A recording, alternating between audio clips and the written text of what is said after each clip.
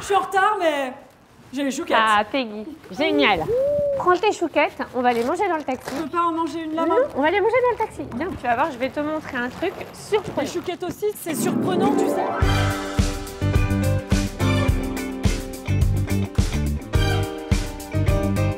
Bon alors Sophie, on va où cette fois? Je vais te faire rencontrer Stéphanie Dégère, qui est une créatrice que j'ai rencontrée à Landam. Stéphanie, ce que je trouve vraiment intéressant dans son travail, c'est qu'elle détourne tout. Un objet a plusieurs fonctions. Dans le design, c'est déjà difficile de faire des choses qui sont belles, mais quand en plus on arrive à donner vraiment du sens et à twister, etc., Ouais. ça donne un, Une autre envers au dimension. produit, une autre dimension. Alors est-ce que tu crois que c'est là? Ben, il me semble, oui. Attends, regarde. Bonjour Sophie, Peggy, bienvenue. Coucou Stéphanie, merci de nous recevoir. Avec Comment plaisir. ça va? Très bien, et vous? Alors on est chez toi ici? Oui, bienvenue dans mon studio. Je sens que je vais fouiner. J'ai le droit? Oui. Les ateliers, c'est ce que je préfère voir en fait, parce que c'est là que tu vois vraiment l'univers d'un artiste, d'un créateur, etc. Et Stéphanie, je vois derrière toi une boîte qui m'interpelle. Ah, Ouais, celle-ci. ouais, parce que euh, Qu'est-ce que c'est? que ce truc? Ah ben, La je suis ravie que tu l'as, amour, parce qu'elle a une très belle anecdote. Euh, du coup, avec la marque, on a créé un manifesto pendant le, le confinement qui dit que tout peut devenir un accessoire. Et du coup, Ah. c'est la petite fille de mon amie qui a créé ce sac.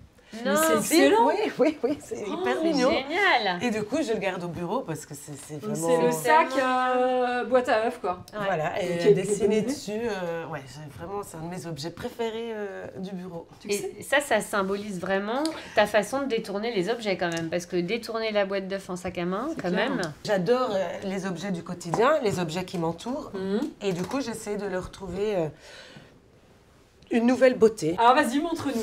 Alors, de, de, de voir. Ça, c'est un modèle assez nouveau, mais le concept est là depuis le tout début. C'est vraiment l'idée de base euh, de la création de la marque. C'est l'idée qu'on puisse accessoiriser son accessoire.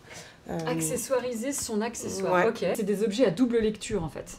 Ou, ou double ou triple lecture. Mais comme Moi, toi, comme vous, hein, Ouais. avec le, le, le- le pliage ou. euh, Tu avais fait aussi, je me souviens, des gants qu'on pouvait euh, porter en. les as je les ai préparés. Tu en les as bijoux. Pardon, mais là, moi, quand je regarde ça, c'est une paire de gants. Est-ce que je te laisse chercher un peu ou pas? Déjà, je vais faire ça, Ouais, parce que je ne peux que faire ça, Exactement. super. et je le mets autour de mon cou? Exactement. ouais.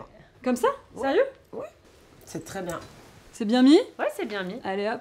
Voilà. Excellent. Ouais. J'aime euh, cette euh, énergie Ouais. de ces jeunes femmes qui se lancent, qui ont de l'audace, euh, qui prennent des risques. Non, mais c'est vrai. Bah c'est- Sophie, euh, c'est- c'est sympa. J'aime beaucoup cette petite paire de gants quand même. hein.